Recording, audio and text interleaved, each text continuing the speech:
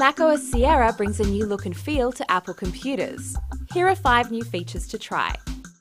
Siri makes her debut on desktop and you can activate her from the menu bar icon or the dock.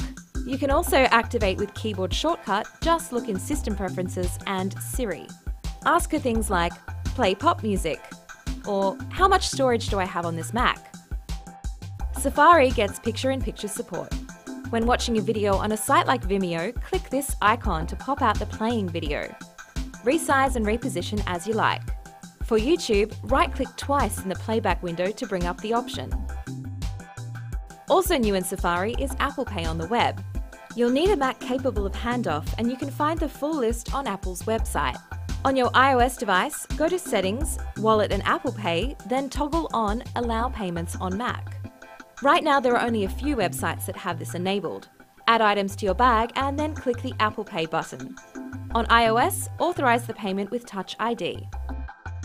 Universal Clipboard lets you copy and paste between Mac and iOS.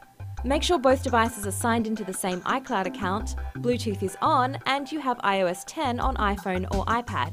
Select the text on one device, copy it, and paste it on the other one. You're used to having multiple tabs open in a browser, but Sierra supports this in other apps too. In Maps, you can press Command T. When you have multiple windows open on top of each other in apps like Mail and Text Edit, click Window, Merge All Windows.